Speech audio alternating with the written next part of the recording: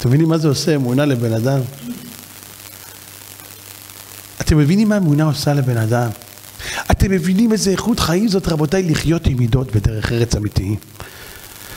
מישהו איתנו קולט את המציאות הזאת? אנחנו חושבים שמידות זה שייך לצדיקים, לאדמו"רים. הלו, מידות זה איכות חיים. כמו שבית, לקנות דירה, כל אחד מאיתנו נחשף לא לגור בשכירות ונחשף לקנות דירה. אומרים לך, תשמע, דירה זה לעשירים. מה אתה מבלבל את המוח? למה? מה צריך להיות עשיר לקנות דירה? אני אתאמץ, אני אקנה דירה. הופה, למה? כי אין לך חשק לחיות בשכירות כל החיים, ופתאום בא לדירה, אומר לך, תשמע, תצא, אני צריך את הדירה, ותתחיל לקחת מקל הנדודים, תחפש לך איזה דירה, ומי יודע מה תמצא, מי יודע כמה ירצו, מי יודע מי השכנים יהיו שם, עד שהתרגלת להתמקם פה. בוא'נה, נדודים זה לא דבר נעים, גלות זה דבר נורא ואיום, ואתה עושה הכל כדי להשיג את זה.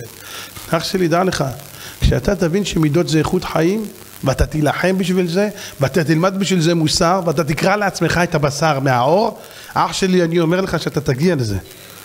אתה תהיה מסוגל לראות מישהו שאומר לך מילה קשה ואתה תוכל להבליג, אתה תוכל לסלוח גם.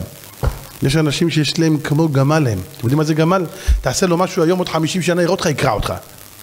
בואי הנה תגיד לי מה זה, תהליך הנאמר השיר על השם כי גמל עליי, מה נהיה ממך? עשה לך מה פעם, מה אתה יודע מה הוא עשה לי מתי? אה, חמישים שנה. איזה חוק ההתיישנות כבר התבטל.